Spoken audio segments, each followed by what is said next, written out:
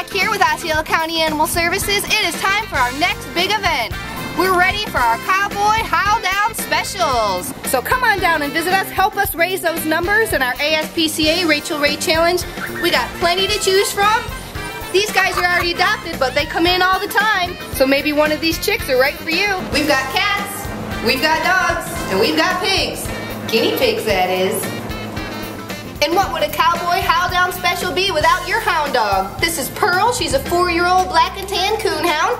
She's looking for a new home and she might be right for you. So come on down to Osceola County Animal Services, support us in the ASPCA Rachael Ray Challenge. We're at 428 and Pearl could be 429. So come on down and save a life today.